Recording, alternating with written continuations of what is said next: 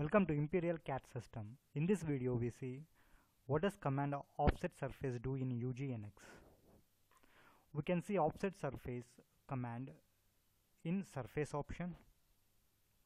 Here we have offset surface. For this I create a surface. I go to sketch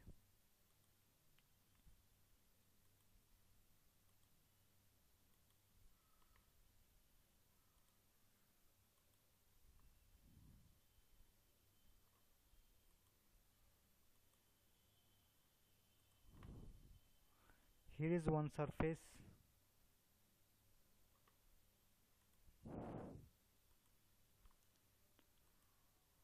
To the edge I extruded another surface.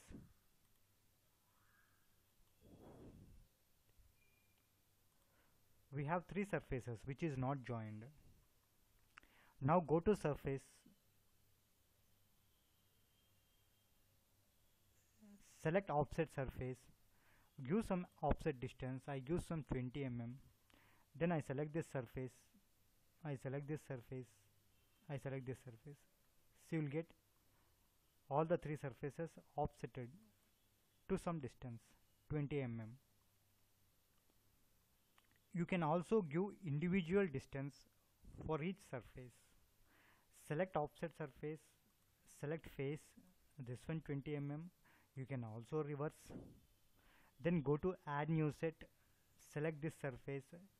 You can give I can I give 5 mm distance reverse. Then I go to new set add new set. I select this surface. I give different distance 15 mm for this surface.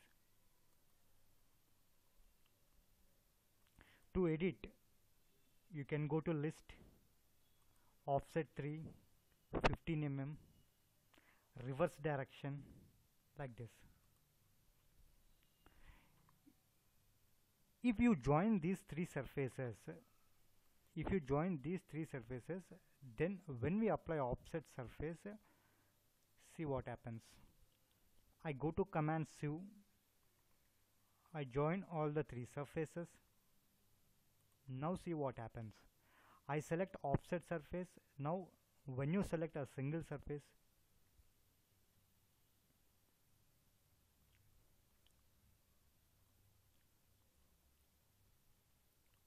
see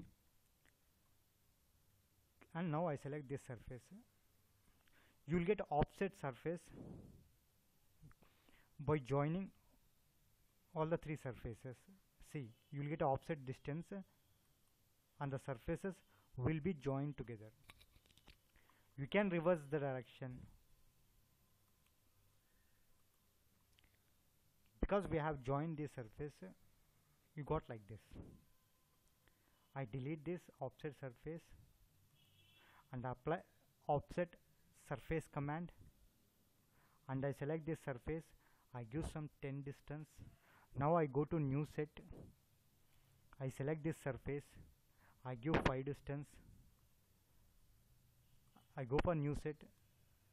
I give some 50 mm see that the difference uh, between when you have not joined the surface and when you join the surface.